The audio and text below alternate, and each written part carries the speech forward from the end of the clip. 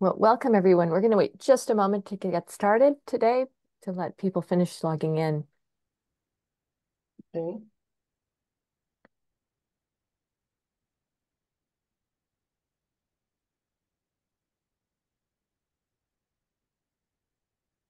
I'm just going to wait till one minute after the hour, and then we'll get started.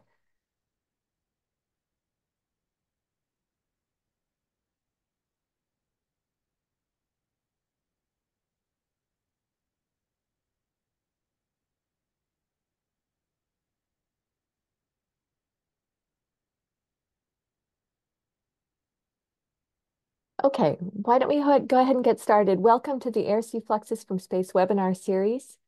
Today we have uh, Baek-Min Kim from uh, uh, uh, Pukyong yeah. National University. Yeah, yeah, who's right. going to talk about unveiling the pivotal influence of sea spray heat fluxes on hurricane rapid intensification. It's a topic that is incredibly timely this week, at least for people in South Florida. So take it away. Okay, thank you. Uh, uh, it's very great to give a presentation in uh, to the uh, flux measurement people and the modeling and who who is very interested in the hurricanes. Yeah. So uh, my name is Baek-Min Kim. Uh, uh, let me introduce briefly. Uh, I worked for more than 10 years polar region uh, before I moved to Busan, which is uh, located at the southeast coast area. I moved to Busan of South Korea five years ago. Uh, after that, uh, uh, I had some pres pressure uh, to study some ocean related stuff. So basically, I'm climate modeler. So I chose a topic on the typhoon. Uh, so East Asian people's hurricane. And uh, I, uh, from three years ago, uh, I started to study sea spray uh, impact on the hurricane rapid intensification.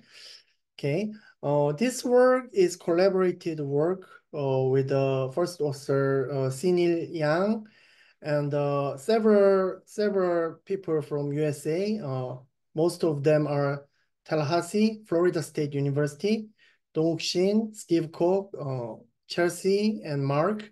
They are my colleagues. Okay. Uh, so this work is recently published published uh, to the journal Environmental Research Letter. So you can easily find, uh, you can search the title and you can find the paper. So the talk title is Unveiling the Pivotal Influence of Sea Spray Heat Fluxes on Hurricane Rapid Intensification. Uh, as the title says, we emphasize the uh, sea spray heat fluxes. Uh, we, we have two kind of fluxes, latent heat flux, latent heat fluxes and sensible heat fluxes. And among them, uh, we emphasize the sensible heat flux is very effective uh, in the hurricane uh, rapid intensification. This is key message of this talk. Okay, let me start. Uh, rapid intensification events remain particularly uh, challenging to mm, predict accurately. Uh, State-of-the-art numerical models continue to fall short in reproducing observed hurricane intensity. Uh, although we have uh, many studies, we have a still crucial gap in understanding air-sea interactions during uh, hurricane intensification. Among them, a large amount of sea spray are noted, and they are generated by breaking ocean waves under very strong winds in the hurricanes.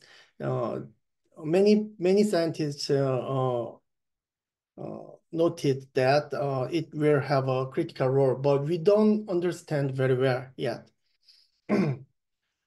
uh, sea spray actually significantly influences heat and moisture exchanges at the ocean surface. And uh, some studies noted uh, sea spray effects led to a more realistic representation of uh, typhoon rapid intensification and an improvement in maximum wind speed uh, is uh, reported uh, in many studies. So my our work in in our work we have a primary objective. we want to shed light on the specific laws of spray-mediated sensible and latent heat fluxes in hurricane rapid intensification. So what we do is that based on the um, uh, some well-known uh, parameters, using well-known uh, parameterization, sea spray parameterization, we conducted uh, sensitivity experiments with varying key parameters of spray flux parameterization. I think key parameters key parameters is uh, not proper uh, uh, proper expression. I think uh, most uncertain parameters uh, is more proper uh, proper proper word because we would like to point out which part is more uncertain and which is um, what is the best result with the uh, which combination, uh, the combination, which combination of uncertain parameters gives best result. This is our motivation. So we try to evaluate uh, model performance uh, with the varying uh, key parameters against observational data. What we used uh, is um, dropsonde the observational data as a key observed parameters. and then after the finding the optimal parameters, we investigate some various uh, uh, devastating, devastating hurricane uh, hurricanes. We apply uh, the parameters to the previous hurricanes and see uh, the impact. Yeah. So we the target hurricanes are uh, Ida, Harvey, and Michael and Ian. They are four most four high impact Atlantic hurricanes, I think before for Helene recently. Yeah. So we tested four cases. The model we used is COAWST uh, uh, model. Uh, COAWST model has a three component, WRF as atmospheric component, ROMS as oceanic component, and WaveWatch 3 as a, a wave model. So uh, we coupled these three components to uh, to uh, we coupled the three these components, and we modified COAWST model. Uh, the key modifications uh, include uh, so we modified the coupling framework to be suitable for wave coupled models, especially for this study. For example, uh, in the wave watch model, we uh, have a, a white caps white caps fraction. White caps fraction is kind of a, a area fraction of a uh, wave phenomena occurs in the unit area. And then, but that is the uh, wave watch uh, intrinsic variable, but uh, usually COAWST model do not uh, uh, deliver that parameter to the WRF parameter, WRF model, but using the coupler modification, we deliver that white caps fraction to the WRF model because that's very essentially important for the uh, sea spray parameterization. So uh, basically, we implemented uh, so Andreas sea spray parameterization to the WRF model. So, so I will explain the uh, briefly explain the modified parameterization uh, later. Uh, and we simply uh, changed the surface layer scheme a little bit uh suitable for hurricanes, hurricane simulation. So those are key modifications. Okay. So I would like to tell you some uh, key modi key parameterization, uh, sea spray mediated fluxes parameterization. So in the equation one, uh, total total sensible heat, uh, total latent heat flux and total sensible heat flux can be uh, written uh, like this. So HR int is a, uh, you can see that the interfacial, this is a very conventional flux. Uh, every model has this kind of component, HR, latent heat flux, and HS, uh, sensible heat flux at the interface. Okay, and then um, spray effect is added to this kind of uh, conventional fluxes. Uh, alpha QL is the spray mediated uh, uh, latent heat flux, and beta QS minus alpha minus gamma QL is kind of a sensible heat flux impact of spray mediated component. So you can see that uh, conceptually, uh, following the Andreas error 2015, conceptually we have a, a interfacial heat flux here, and then so you can see that the spray is generated with a wave, and then um, and then we have a, a droplet drop droplet evaporation layer. We can define uh, this surface, and then the total heat flux is of uh, to the boundary layer, and then we have some flux component here represented by this droplet. Okay, so each QL and each I'm sorry, this is a uh, okay, this is a uh, this QL and QS is very important. It's a direct uh, flux uh, from the uh, droplet, uh, uh, spray droplet. QS and uh, they are parameterized, parameterized for numerical model by Fairall 1994. So we adopted their formula QS and QR, and we could uh, put these two QS and QR into this equation, and we can calculate those fluxes. So uh, in this formulation, we focused on the, uh, uh okay, so uh, we searched the previous researches and try to find the key uncertainties in the parameterization, we found that alpha and beta and gamma parameters are so so uncertain. So we need to, uh, because of we don't have a much much observation, this this spray observation because uh, in the in the especially in the high wind uh, condition, so it's very dangerous to measure directly. So um, alpha and beta are uh, very uncertain parameter, but uh, alpha and beta actually control the magnitude of spray mediated latent and sensible heat fluxes. So that's very important parameter. So, so basically our sensitivity test uh, changes alpha and beta. Uh, actually, we did 28 sensitivity ex experiments varying alpha and beta. Gamma is uh, a little bit uh, certain, so gamma is uh, fixed to alpha minus 0.5. So basically we investigated a combination of alpha and beta and see the result and try to verify using the dropsonde uh, data. This is a key flow of our study. So I will skip this uh, slide. We chose four hurricane. They are category category four and five, and lowest pressure and highest wind and economic damage, something like that. Yeah. So uh, I, I need to address this one. So we conducted uh, three kind of simulation. Uncoupled. Uncoupled simulation is uh, just atmospheric model only simulation. And couple is a WRF-ROMS uh, coupling without sea spray impact. The last one is spray, WRF-ROMS wave watch with sea spray parameterization. So for for each experiment, we conducted 28 uh, sensitivity experiments. So it's a very huge uh, combination uh, model simulation. So this is a model domain. You can see the Gulf of Mexico here. Okay.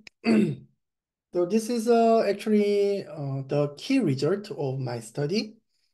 So, so you can see X, uh, this is a normalized uh, root mean square error. So basically, uh, this measure uh, calculates the uh, model and observation uh, difference. We can uh, try to quantify how model is different with the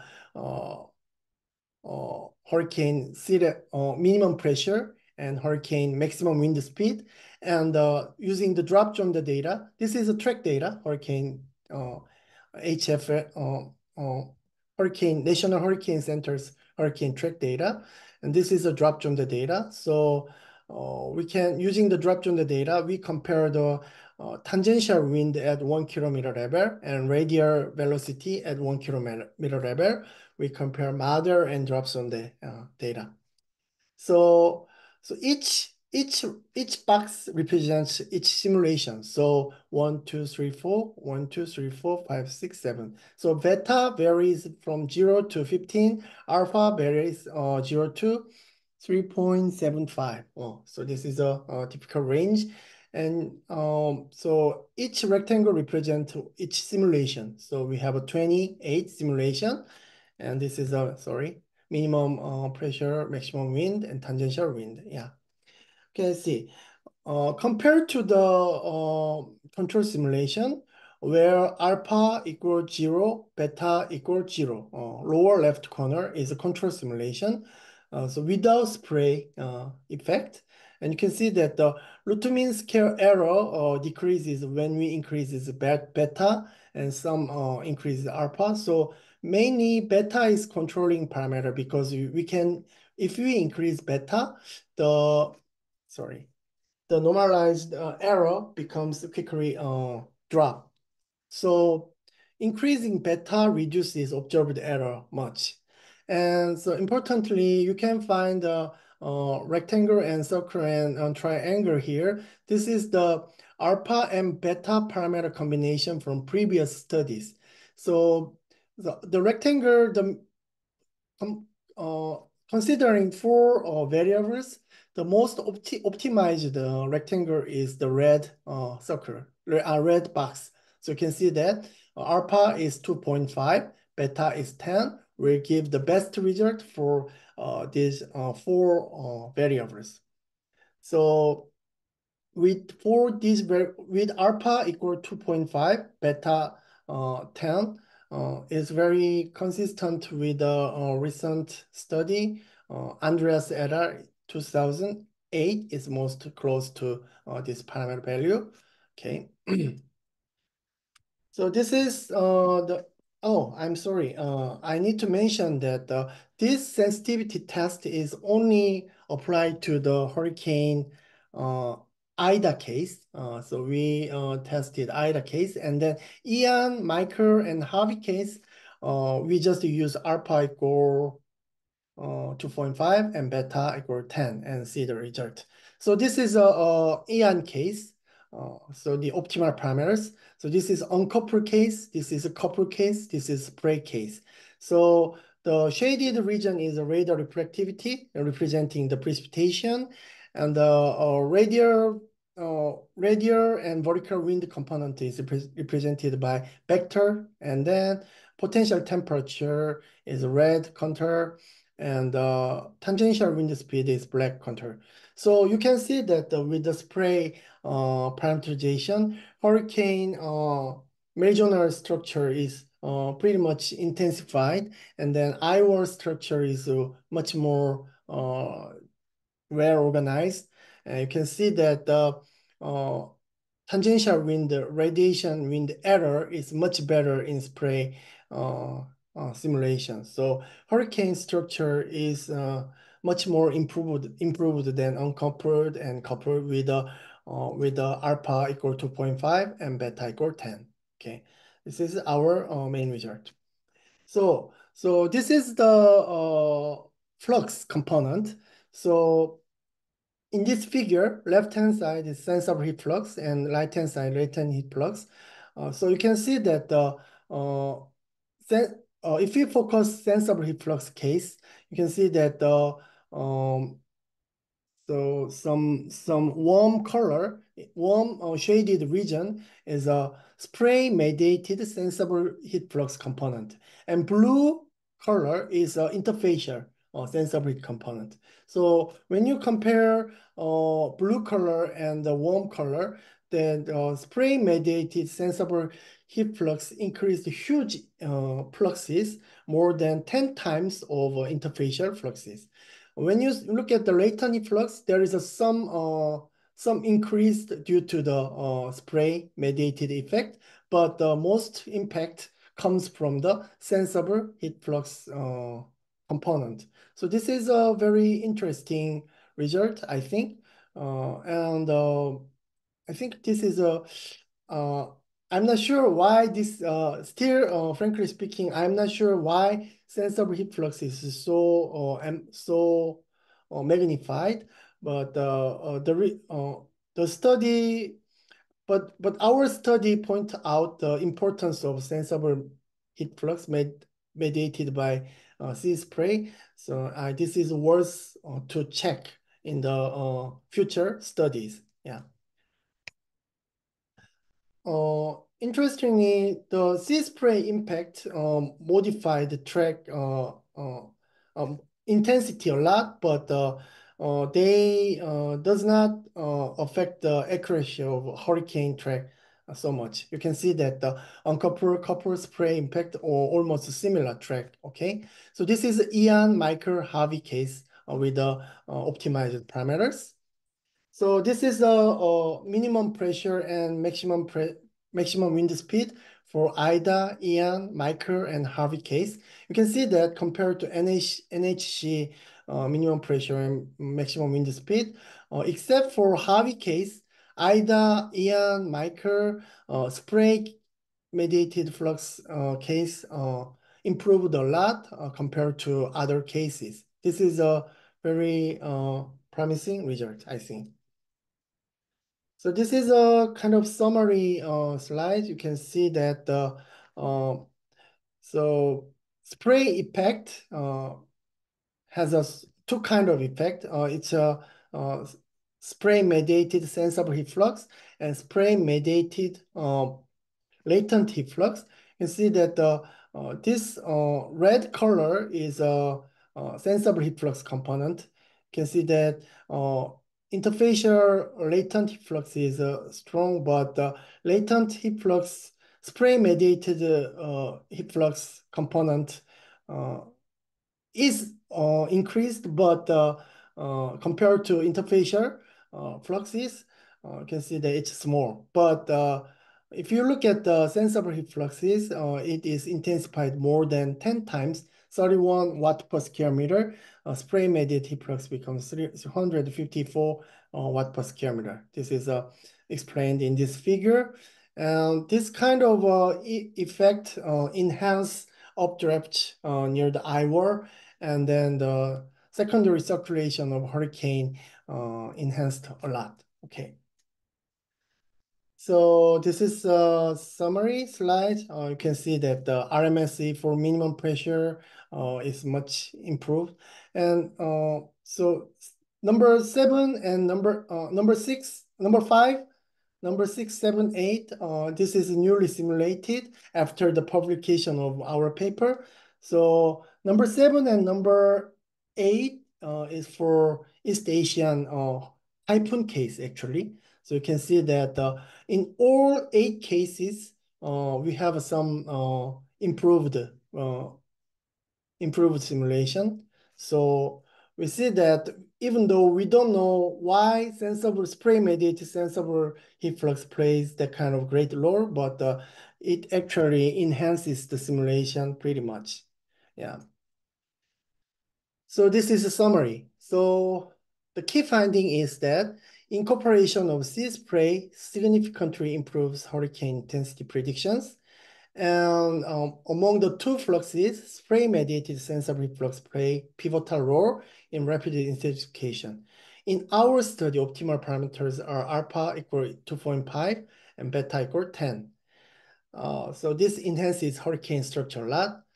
Um, okay, so the limitation of this study is that uh, in the formulation, we have, even though we I don't have much time, so uh, SA and SV parameters are recently emphasized that it's very important for describing sea spray impact because uh, that is a spray generate parameters. Basically, it describes the um, uh, spray number number of spray depending on the uh, radius size radial size of spray. So so if droplet spray droplet size is very small, it ev evaporated a lot. So when um when droplet evaporates, so evaporative cooling uh, cancel the sensible spray mediated sensible heat effect. Uh, when the spray becomes bigger and bigger, the evaporation uh, becomes uh, ev ev evaporation e efficiency becomes low because the the surface area becomes uh, less and less. So so droplet size distribution is a very important parameter. But in this study, SA and SV uh, is just a constant, just a fixed value. So um, so we need to think about the uh, change SV and SA depending on the droplet size distribution. And uh, it, it, can be a future study. And the current metric for determining alpha, beta, gamma is very heuristic because we just uh, compared uh, hurricane properties. Uh, maximum wind speed and uh, minimum sea level pressure, that kind of thing. We just uh, compare the RMSE, but this is not direct observa observe observation of alpha and beta and gamma. But uh, Mark Bourassa and I and my colleague are trying to develop another uh, better method to to measure alpha and beta and gamma using the dropsonde data. So this is ongoing research. And we need more, of course, we need more case studies. Uh, and uh, okay, so this is a limitation. So implications are uh, we highlight importance of spray in hurricane intensity, rapid intensity uh, forecasting matters, and we demonstrate value of dropsonde data. Uh, if properly used, dropsonde data is so powerful in parameterization tuning. And so we have a potential for significant improvement in operational hurricane forecasting. And also we provide foundation for more sophisticated sea spray modeling in future research. Okay, thank you for your attention. Well, thank you very much for this really nice webinar. Questions? Okay. I rushed it actually to make 30 minutes presentation. So maybe while people are thinking of questions, I'll I'll start by asking one. Um, I guess I'm just really amazed at the role of because the the prevailing story is that uh, latent heat matters and sensible heat is unimportant, and so it's really amazing to see sensible heat taking over. What makes that transition occur? Is it would it be the same if you had really big drops or um oh yeah. what what's do you of have course, a sense of what the physics is behind that of course uh this result uh spray mediated sensible heat flux roll uh actually this is unexpected i uh i thought like you uh when mm -hmm. i mm-hmm. simulate uh simulated and we got uh, this result and results are very good. So uh, one reason uh, why latent spray mediated latent heat flux is not so effective is that uh, because of hurricane, uh, we already have a, a, a pretty much uh, latent heat flux from the moisture mm -hmm. increase in the at the just interface. so uh, already uh, bottom layer is uh, quite saturated. So additional mm -hmm. supply of spray mediated latent heat flux is uh, the lower is small. This is one reason. And the another uh, reason why sensible heat flux is then also huge is uh, still, frankly speaking, we don't know yet. but uh, I think there is one uh, reasoning. Um, what we are thinking is that uh, SST is becoming warmer and warmer, and um, so spray mediated flux uh, actually uh, wave break uh, wave breaking spray increases the droplet evaporation layer higher, And then the warm droplet just uh, is delivered to the more uh, more upper, not upper, just a 10 meter or 15 meters high, then it uh, directly contact with the more colder way, colder uh, air. So they can enhance some spray mediated sensible heat flux. But uh, as we investigate, so we are, still we are looking for why, but uh, uh, that kind of effect is uh, not explain everything because so you can see that this is a QS, and then you can see that beta is very big number with the our parameterization. It's a number 10, then 10 times intensified uh, spray sensible, spray made sensible heat is intensified by beta.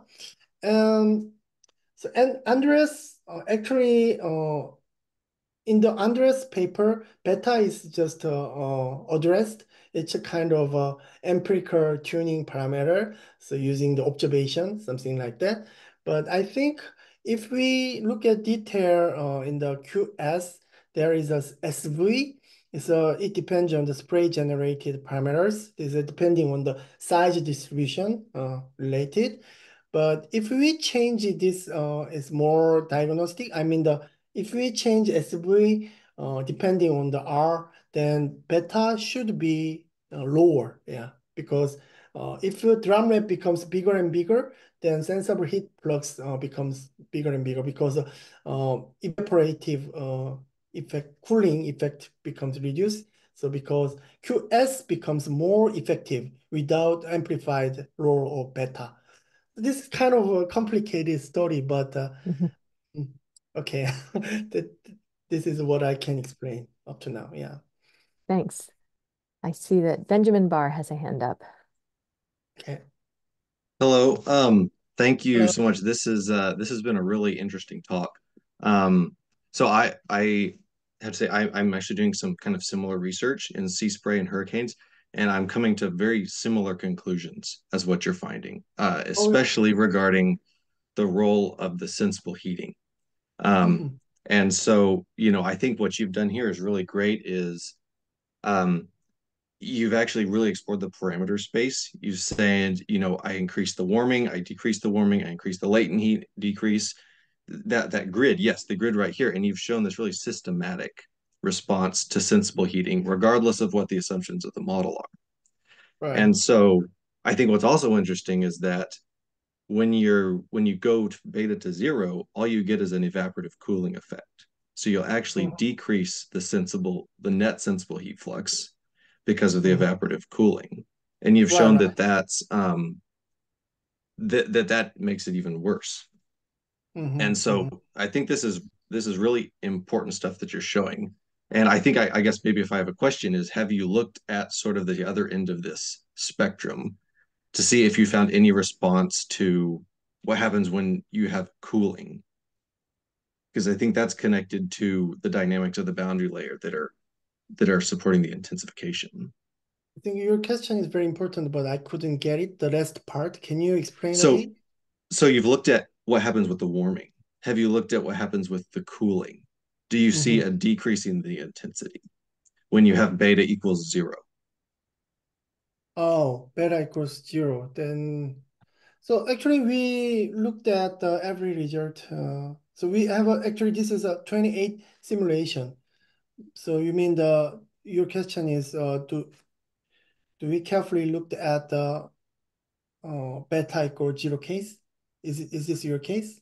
Yeah, I'm wondering if the beta equals zero cases, if the storms become more intense in the presence of spray or if they actually become less intense? Uh, Does the okay. cooling impede the intensification? Oh, this case, case B is actually beta equal zero and alpha equal zero case. Yeah. Okay. And this is a, a beta equal 10 and alpha equal 2.5 case. So okay when we compare this one, uh, this is actually uh, just a WRF simulation, uncoupled simulation. So compared to WRF simulation, so coupled simulation without spray, actually uh, much weaker hurricane simulation. Due to the ocean cooling. Yeah, ocean cooling. Mhm. Yeah, especially uh, that's that's very good question. Actually, uh, in this table, actually seven number seven and eight are typhoon case. Actually, uh, East Asian coast. So the Gulf of Stream and the East Asian coastal area are very different. One key difference is that we have a, a, a very cold water just below 20 meters of ocean surface. We have very cold water. So when hurricane, uh, even though SST is very warm, so when hurricane uh, comes to approach to Korean Peninsula, so hurricane quickly, sometimes quickly drops because of uh, so upwelling of very cold water into the surface. So you can see that uh, the change in Lutomin error, uh, it's not much dramatic compared to the Gulf Stream, uh, Gulf, Gulf of Mexico case. So less dramatic effect because of colder water. So, but still it has a, some uh, effect. Yeah, error Okay, reduced. great. Yeah, Great. yeah, yeah, Well, thanks. Yeah, I think you've got a great set of cases here to look at too, which is important. yeah, yeah, yeah. Thank you. So do you have a publication about Um, this? It it's in review. Um, I I Yeah. will I want to get in touch with you offline. Um, I can show you Oh, a yeah. seminar. Yeah, So very good. yeah, I think we should definitely connect about this. Keep in touch. Yeah. So if I can ask another question, um, because this webinar series is nominally about air sea fluxes from space, I'm wondering, you've been using dropsondes, but what satellite quantities would be most important for the types of things you're looking at? Do you need wind information or wave information or white capping or something else? Oh, if possible, um, I think Whitecaps dir- uh, satellite measurement is it is that possible? I'm not a satellite guy, so uh, confusing. But uh, sometimes uh, WindSat like that, uh, the kind of thing gives us some wave information, and also uh, I know that uh, satellite is very useful for flux estimation. So that kind of thing are uh, very valuable uh, to supplementary to our Mhm. drops data, I think. Yeah. Yeah, I think the thing that people have made a lot of progress with is is wave characteristics. Mhm. Um, in some cases, just along the satellite path. So altimeters use that. Yeah. Uh, there's SAR information about waves. White Mhm. capping uh, should be possible if you have good ocean color, but I don't know how far that's been taken. Maybe somebody else does. Yeah. But it sounds like that would be really relevant when you're thinking about spray. So, Yeah. Um, so are there other questions?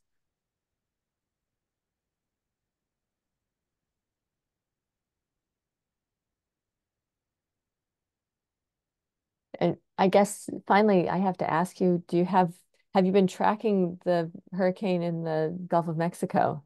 And do you have views about its rapid intensification? Yeah, yeah. Uh, yeah, Gulf of Mexico, uh, so most of these uh, cases uh, exhibited rapid intensification, Ida, Mhm. Ian, Michael. But the Harvey case is very different. Yeah, Harvey case Mhm. actually, compared to other cases, uh, there is some obvious reason why uh, spray is not working very well because Mhm. the landfall is so fast. So Uh-huh. it is disconnected with the ocean so fast. So Mhm. I think that's the reason. Yeah. So yeah, Gulf of Mexico or SST. So it, it sounds like what happened yesterday, Yeah. um, you could easily attribute to spray effects based on the work you've done. Okay. I don't know.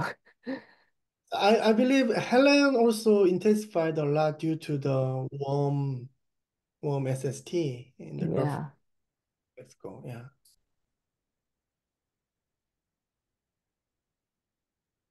Okay. Well, any other questions?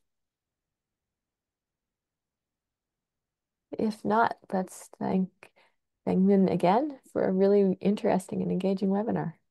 Okay, thank you very much. Mm, Yeah, Thanks a lot. yeah, I enjoyed a lot. So this is the end of webinar. So Yeah, yeah. So thank you. okay, mm, thank you very Bye. much. Bye bye. See you.